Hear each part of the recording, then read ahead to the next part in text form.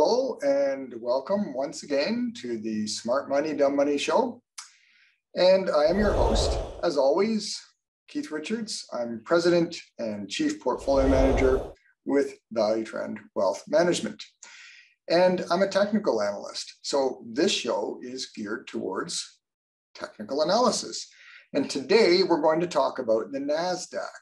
And I want to bring you back to a chart that I posted on my blog some time ago, uh, well over a year ago.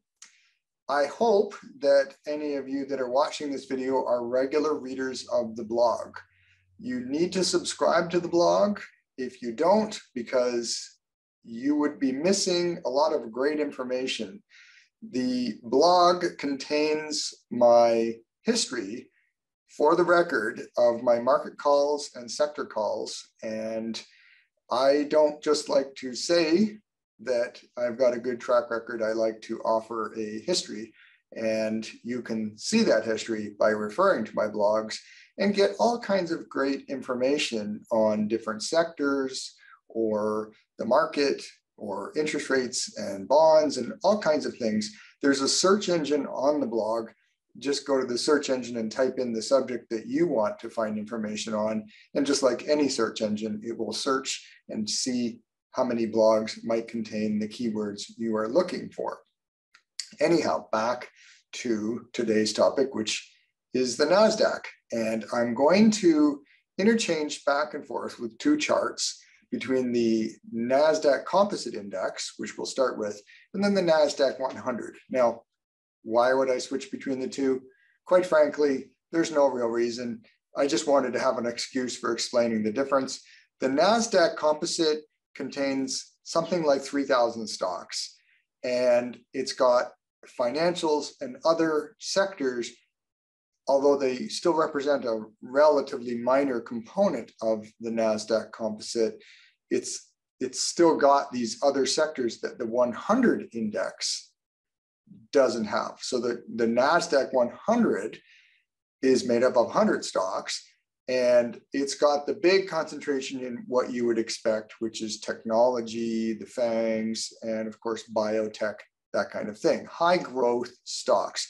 They're both very similar. In fact, if you overlay the two, you'll find there's hardly any difference. Just like if you overlay, for example, here on the Toronto Stock Exchange, overlay the TSX 60, which is only 60 stocks, over the TSX 300 composite, you will find that they have very, very high correlation. So it's hardly worth looking at the 300 when you can look at the 60. And you might say the same for the, uh, the NASDAQ 100. But I'll present both charts because there will be minor differences because of the influence in the larger composite by the financials and stuff, small that may it be. So let's share the screen and go right to the composite.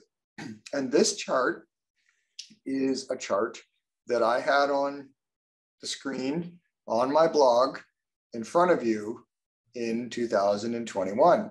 And in fact, this notation, the, the fact that I noted that the market was 35% over its long-term trend line was made back around the third quarter of 2021, fourth quarter of 2021. And what I was saying is, you know something, when markets arc off of a trend line, just like my rule of the moving average, so the red line, the 200 day moving average, whenever the market gets more than 10% off of the moving average, you'll tend to find it, it corrects just like it has. But if you also look at the trend lines, the bigger picture, when the market arcs too much off of the trend line, it tends to decline and come back. And it does this over and over again. So we were at a level where the NASDAQ during 2020 and 2021, because of all the COVID uh, movements, you know, as people worked inside and all these kind of very high growth stocks that, quite frankly, were largely bid up on a hope and a prayer and less on their current earnings and less on reality, let's face it. Now, what happened is that the NASDAQ did move something like 35% over its long-term trend line. And I noted on the blog that that doesn't last forever. So here we are. And you'll see that we're pretty darn close to that trend line. And sometimes, you know, when you get a pullback, it doesn't always like here, it doesn't always pull exactly back to the trend line. You saw this pullback. My thoughts are that a lot of the flush out for the NASDAQ has been completed, although we still do have that potential for the NASDAQ to come back to maybe closer to 10 and a half to 11,000. Remember a trend line is ever moving to the right. So you have to not look at it linearly. You have to sort of extrapolate based on the angle of descent where this might land and it, it might actually end up closer to 11,000. But that's still a fair chunk because it's near 12,000 right now, 12,100 and something. So that would be a good 10% possibility on the downside, but much of the flush has happened. So the question might be, is there an opportunity on the NASDAQ? So I wanna just look at a couple things. The, the other indicator that told me that the NASDAQ was overbought, I use two big long-term indicators to see macro trends. And please take my technical analysis online course if you have not done so already, because these two indicators are discussed quite thoroughly in that course. They really do help you see the moments of rounding over of a market when you're in one of these situations like we had when the market had gone ex extraordinarily over a long-term trend line. So you can see that the MACD rounded over, it, it peaked and it crossed, it started moving lower. And you can see that rate of change. Now I use a, a pretty big rate of change. This is a 52 uh, week rate of change. I often, for the really big pictures, I'll use 60. So the point is that I look for a point and you can see that sometimes you get one of these points and the market can fall. And sometimes when the rate of change gets uber oversold, it can come off of a, a low point. Now, where are we right now? Well, when we look at MACD, it is definitely in a very deeply oversold condition. It looks like it's trying to do some, some movement up, but it's done that before. You can see it here. So I'm not going to say that that oversold condition is yet over. And it ain't over till the fat lady sings, as uh, Yogi Berra, and it wasn't Yogi Berra, so somebody once said, um, I've quoted that person in my blog before with the correct name. Um, the MACD needs to cross to the upside. Now, on the positive side, you do see a little bit of positive divergence, possibly, between these two peaks. So there's some possibility that, that, that the NASDAQ will begin a bottoming process really soon. That's to see though, because the rate of change, which is the bigger indicator, especially after a massive flush, we had a massive flush back in 2008, as many of you will remember on the technology sector. Well, this has been a pretty substantial flush as well. And yet we don't see the rate of change going as deep as it did back in the bad old days of 2008, 2009. So that's why I'm suggesting that even though we may be approaching the bottom for the NASDAQ, it, it, very well could come right down to the trend line and maybe even overshoot it a bit as it did in 2018 and 2020 during the COVID crash. So that's the first observation. The market is uh, forming what may become an oversold position and forming a setup for an eventual move back up is it here yet? No, we don't see any bullish crossovers on the MACD, and we don't see the rate of change fully flushed out yet, but it's it does look like it's getting there. So that's my first chart. The next chart is the NASDAQ 100, just like I mentioned, I thought I would throw that in just for kicks and giggles. This is a closer look. So this is a, uh, again, a uh, weekly chart but um, we're taking a, a, little bit more of a zoomed approach. Now I've got a bunch of momentum indicators on here. This is money flow momentum, and you can see money flow is flowing aggressively out of the NASDAQ, but it is starting to pick up. People are actually buying into this rally. Here's the rally.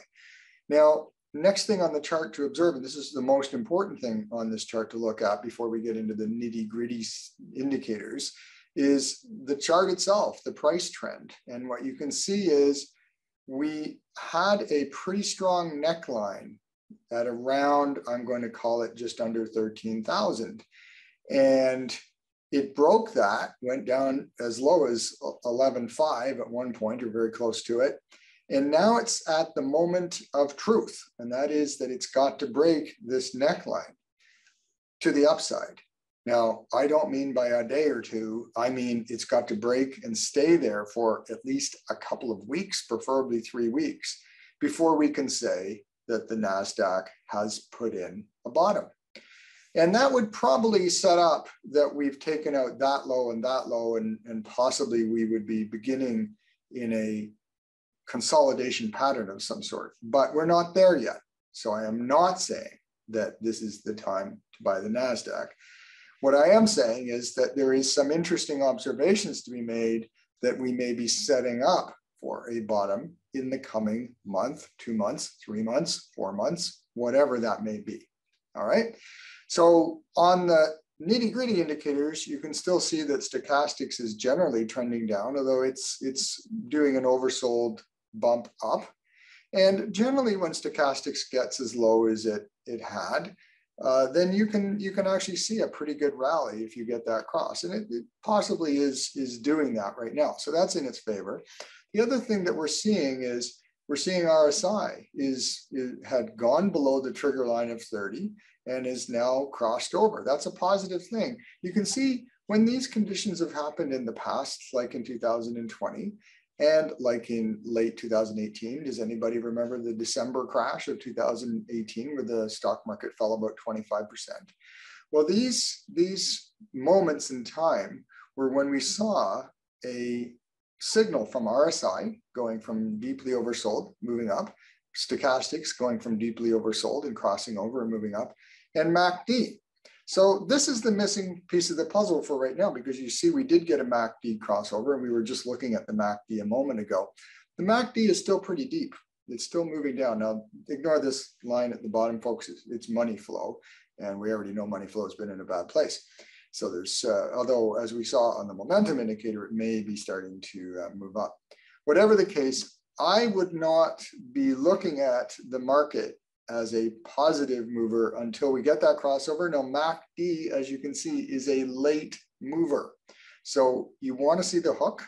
There's the hook, and you want to see the crossover. Now the actual bottom of these two troughs occurred when stochastics and RSI were at uh, lows below the 30 line and, and uh, crossed over. But the, the safest place to enter is generally when you see a crossover either way, you know, choose your poison.